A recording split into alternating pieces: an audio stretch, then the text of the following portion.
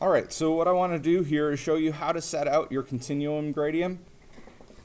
Alright, what we're going to do is we're going to grab a new sheet of typing paper.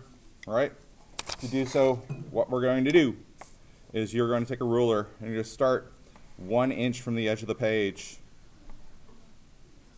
and one inch from the back edge of the page.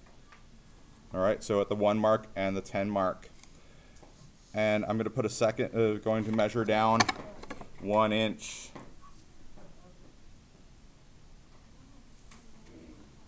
And from that other dot, I'm going to mark down one inch. While that's happening, I'm going to draw a line connecting the dots.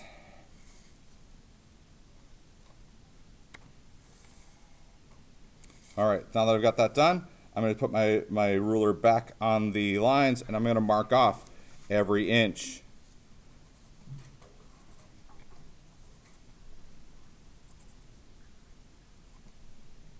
All right. And then I'm going to play a game of connect the dots.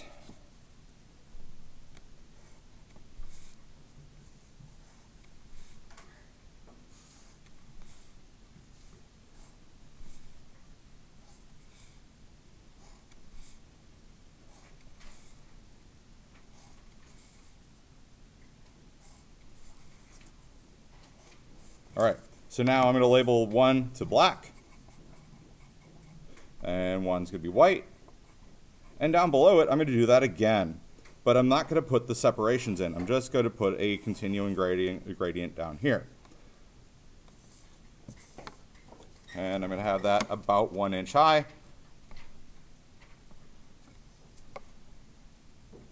If you go bigger, that's on you. It'll just make it harder. All right, and we're just, again, just going to cap that off on the edge of the page, like so. So the top one, we're going to try to make this as dark as possible, transitioning to, to the white. So here we've got nine steps to get, to get to white. Down here, we're going to just do this in one continuous smooth action from black to white. All right, put your name and date on the top of it, and that's what we're, we're doing for that particular video.